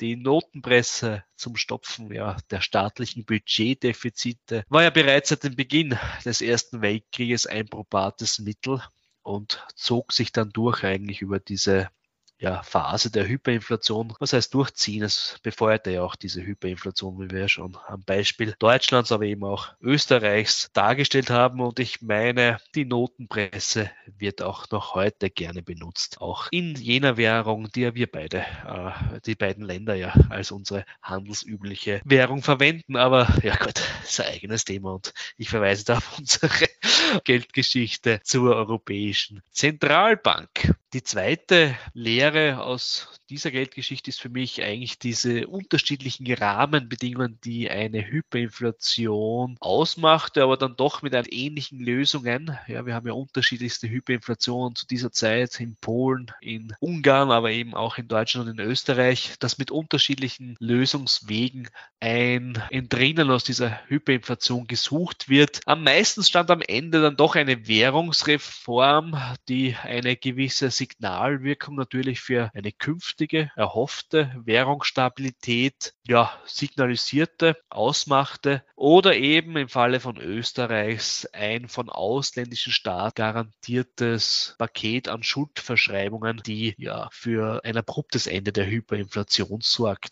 Im Übrigen wurde ja die Raten dieser Völkerbundanleihe bis in das Jahr 1980, natürlich auch hier wieder unterbrochen in der Zeit nach dem Anschluss an das Deutsche Reich, ja, 1938 bis 1945, regelmäßig bedient und dann eben die Schuldtilgung im Jahre 1980 endgültig zu Ende gebracht. Die dritte Lehre ist eine, die berühmte Medaille und die beiden Seiten einer Medaille thematisiert, nämlich wo sehr, sehr viele Verlierer die natürlich in dieser Umverteilung zu Lasten der Sparer, der Rentner oder Pensionisten, wie man in Österreich sagt, und natürlich auch der Vermögensbesitzer, ja, die es alle voll abbekamen. Aber auf der anderen Seite der Medaille gab es natürlich auch einzelne Gewinner der Inflationsmisere. Ja. Die waren einerseits wahrscheinlich im Tourismus tätig, denn in Bad Gastein, in Salzburg oder auch im Salzkammergut ja, war eben Urlaub machen für Ausländer nach dem dramatischen Währungsverfall der Krone natürlich ein wahres Preisparadies. Andererseits, und du hast es auch anklingen lassen, beziehungsweise erwähnt, Louis, eine sogenannte Exportprämie. Am Beispiel Österreichs wäre das vor allem in der Papier- und Holzindustrie feststellbar, die eben sehr stark und dominant in Oberösterreich und im steirisch-kärntnerischen Grenzgebiet tätig war und die in ihrer Erzeugung der Produkte weniger importabhängig war. Und auf der anderen Seite gab es auch einen Ausverkauf der Produktionsindustrieanlagen beziehungsweise auch des Finanzsektors. Beispiele hierfür sind die Anglo- und die Länderbank, die eben in den ausländischen Besitz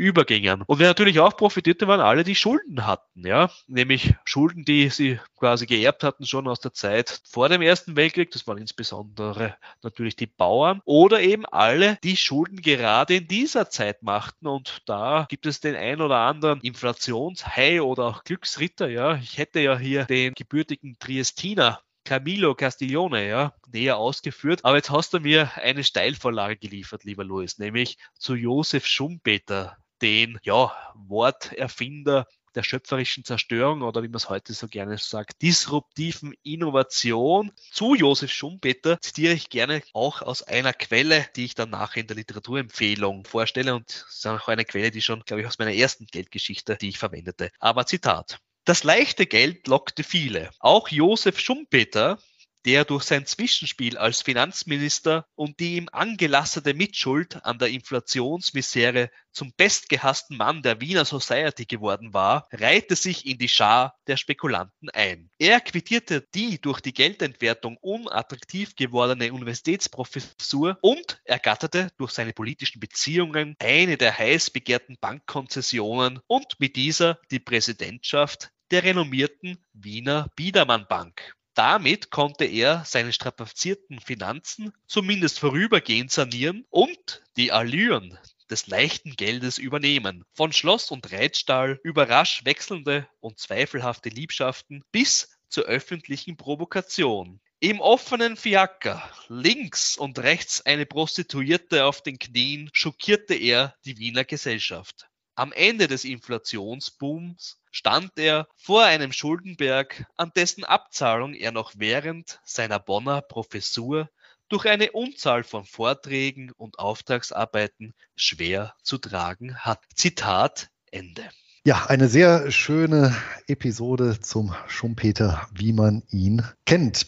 Der berühmteste Inflationsgewinner, das war als kleiner Nachtrag in Deutschland, das war übrigens der industrielle Stinnes, der die inflationäre Entwicklung ja sehr früh erkannt hatte und sich ein regelrechtes Firmenimperium zusammengekauft hat und die Finanzierungskosten die bauten sich dann eben über die Hyperinflation ab. Und da gab es dann auch in dieser Zeit den äh, Spruch, der die Runde gemacht hatte, Stinnes kauft alles. Der ist dann aber meine ich, schon bereits 1924 gestorben und sein Imperium ist noch kurz danach implodiert. Ich habe mal vor einigen Jahren einen Blogbeitrag zu dem Herrn Stinnes, Hugo Stinnes geschrieben. Kann man sich dann auch mal bei Gelegenheit durchlesen. Ja, kommen wir abschließend noch zu unseren Literaturempfehlungen und unseren eigenen Quellen, oder?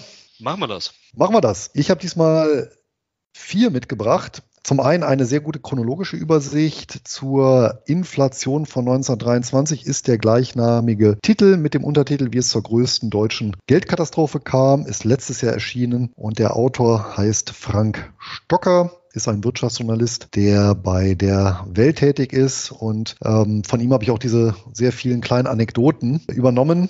Also wirklich ein sehr, sehr unterhaltsames und informatives Buch, eine wirklich sehr gelungene Kombination. Wer eintauchen will, mehr in den Alltag der Menschen, ähm, sowohl übrigens in Deutschland als auch in Österreich, Ungarn, der ist hier mit Adam Ferguson äh, gut bedient. Das Buch heißt Das Ende des Geldes, Hyperinflation und ihre Folgen für die Menschen am Beispiel der Weimarer Republik.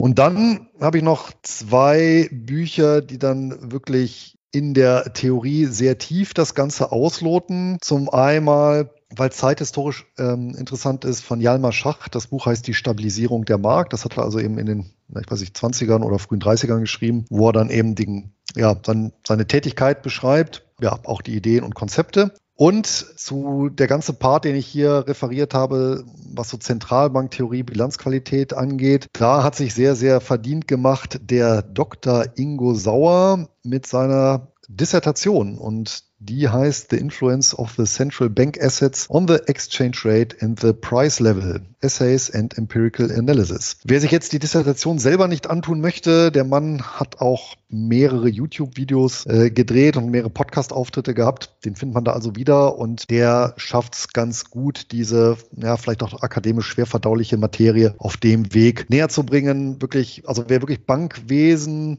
Zentralbanken, das Verständnis da wirklich nochmal richtig vertiefen möchte, lege Ingo Sauer ans Herz. Gut, dann schließe ich ab mit den Literaturempfehlungen, die ich für diese Geldgeschichte gewählt habe und ja, die erste Literaturempfehlung schließt gleich an das Zitat zu Josef Schumpeter an, nämlich, man muss schon sagen, ein Standardwerk zur österreichischen Wirtschaftsgeschichte, nämlich von Roman Sandgruber, Österreichische Geschichte, Ökonomie und Politik, erschienen im Jahr 2005. Dann ein ja, sehr interessantes Werk und vor allem auch für Personen, die sich näher mit der politischen Geschichte der Ersten Republik Österreich auseinandersetzen möchten. Von einer Person geschrieben, die nicht ganz unumstritten ist. Ja, und ich weiß, dass er für einen Historiker für die ein oder andere saloppe Formulierung gut ist. Ja, Lothar Höbelt, er bezeichnet ja zum Beispiel einmal eine angedachte Koalition in den 1950er Jahren als einen flotten Dreier. Für einen Historiker ist das natürlich schon sehr salopp gewählte Formulierungen. Nichtsdestotrotz ist er ein sehr anerkannter und fundierter Historiker und sein Werk Die Erste Republik Österreich 1918 bis 1938 das Provisorium erschien im Jahr 2018. Und zuletzt ein Werk, der sich näher mit dem Thema Inflationshigh äh, beschäftigen möchte. Und eben einer der schillerndsten und wohl prägendsten Persönlichkeiten in dieser Zeit war nicht Josef Schumpeter, gleichwohl der ein oder andere Stilblüte von ihm auch stammt, ja. Aber das war de facto Camillo Castiglioni, der mit dem besagten Stinnes ja die ein oder andere Transaktion, ja, ähm, dubiose Transaktion auch durchführte. Und hier kann ich das Buch des Wirtschaftshistorikers Dieter Stiefel empfehlen, Camillo Castiglioni oder die Metaphysik der Haifische aus dem Jahr 2012. Und damit sind wir am Ende der elften Folge der Geldgeschichten. Wie immer freuen wir uns über Anmerkungen, Fragen, Korrekturen oder Wünsche. Nutzt dafür gerne die Kommentarfunktion oder schreibt uns eine E-Mail an kontakt.geldgeschichten.info. Diskutieren könnt ihr mit uns im gleichnamigen Telegram-Kanal zum Podcast unter gruppe.geldgeschichten.info. Alle Angaben und Verweise findet ihr in der Folgenbeschreibung. Schaut dazu in eure Podcast-App. Wenn ihr keine Geldgeschichte verpassen wollt, dann abonniert unser Format. Und das gibt es überall, wo es Podcasts gibt. Und selbstverständlich freuen wir uns, wenn ihr durch eine gute Bewertung zur Verbreitung der Geldgeschichten beitragt. Und damit verabschieden wir uns von allen Hörern mit dem alten chinesischen Segenswunsch. Möget ihr in uninteressanten Zeiten leben. Musik